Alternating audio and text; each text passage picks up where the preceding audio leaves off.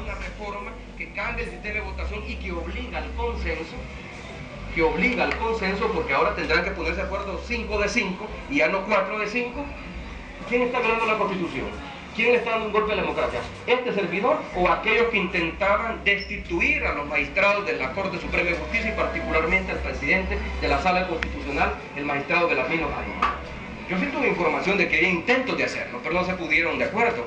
Funes también dijo que la Sala de lo Constitucional tiene procesos ya establecidos para declarar inaplicables algunos decretos, como el que por hoy los mantiene atados si no logran consenso.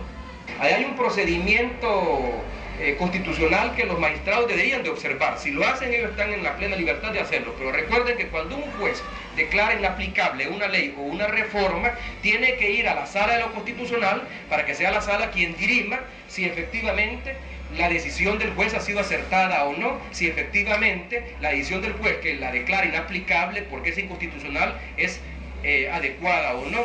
Entonces aquí estaríamos frente a un caso en el cual los magistrados de la sala tendrían que ser juez y parte, tendrían que declarar inaplicable una decisión tomada por ellos mismos.